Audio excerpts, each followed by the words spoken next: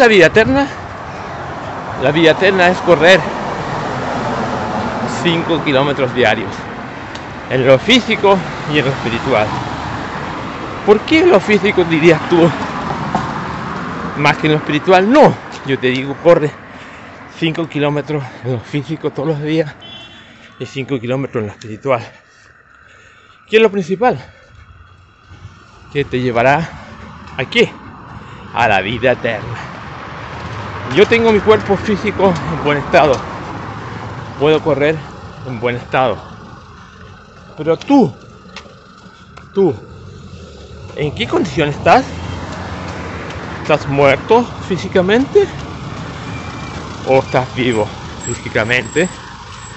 Yo estoy físicamente vivo y queriendo cada día no morir también en lo físico, pero quiero vivir en lo espiritual, porque eso me llevará a la vida eterna.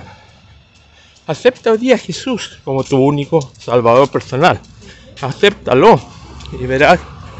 Amén. Me gritaban ahí. ¿eh? Amén.